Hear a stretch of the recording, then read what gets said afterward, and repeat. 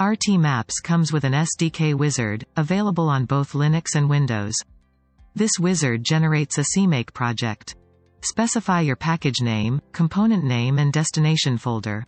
One package can contain multiple components. Generated files are inside the destination folder. You will find C++ source code as well as a package definition files there. The PCK info file contains the package version number and a small description. Let's run CMake to build and use this template.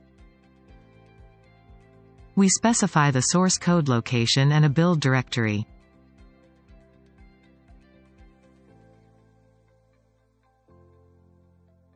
On Windows, most of the Visual Studio versions are supported. You may also use other IDE as well. When finished, generate and open project. Here we have one H file and one .cpp file. This should compile out of the box. Using release with debug info parameter allows for debugging while maintaining execution speed. Let's build the project now.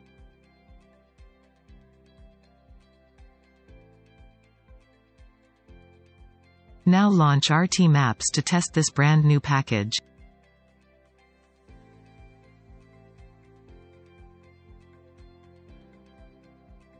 Locate the package and load it into RT Maps. Drag and drop the component onto the diagram.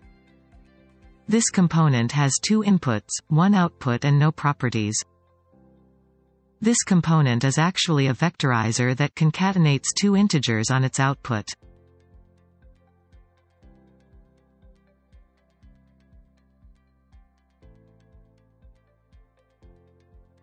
Start the diagram. With the data viewer we see the concatenation of the two integer values.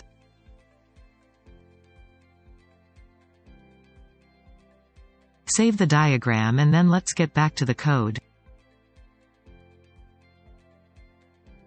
Each component is actually a C++ class deriving from MAPS component. This class contains a constructor in a macro, an input reader object to be able to read from its inputs and its associated data callback. In the implementation part, we have a section containing declaration of inputs, outputs, properties and actions. We also have the definition of the component's name, its version number and threading capabilities. In this project, we have two inputs, the first one in FIFO reader mode for triggering the component, the other one in sampling mode. Both inputs are defined to accept only 32-bit integer in this example. In the outputs declaration section, we have one output with data type 32-bit integer, with a buffer size of 2. This buffer size represents the capacity and it cannot be changed afterwards. If you do not know the size yet, you may specify 0.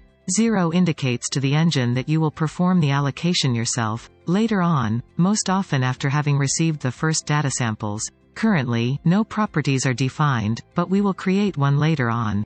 No actions are defined either. In this component, three member functions are essentials. The birth function is called once when you start the application, you will usually place there your member variables initialization and resources allocation if needed. Here we create an input reader object using the triggered method. Many other reader modes are available such as reactive and synchronized as seen in the previous tutorials. The core function is called in an endless loop by the engine while the component will run. It must contain a blocking call or your component will consume an entire CPU core there. The input reader read function blocks until data samples become available on the inputs. According to the chosen reading policy, before calling the callback, the death function is called once when you shut down the diagram execution.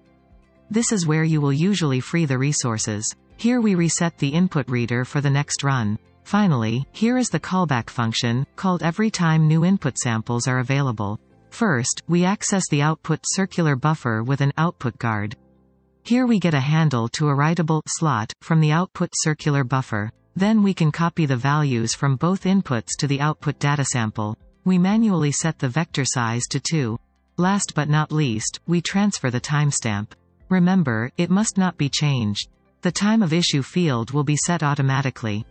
Now let's add a property called factor to multiply the output by a number. The second parameter determines the type of the property.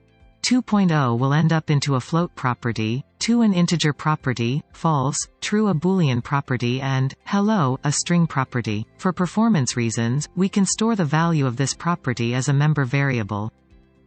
We use the birth function to assign the member variable value. We can directly multiply by the factor during the assignment. We also need to declare this property. Two options are possible. Directly increase the number of properties or specify minus one. Minus one will tell RTMaps to auto-detect the number of properties. This works for any static definitions like this. You cannot rebuild the component while it is still loaded in RT maps. You have to at least unload the package and reopen the diagram. We now see the factor property. We can run the diagram and see that the output is now twice what we receive on our inputs.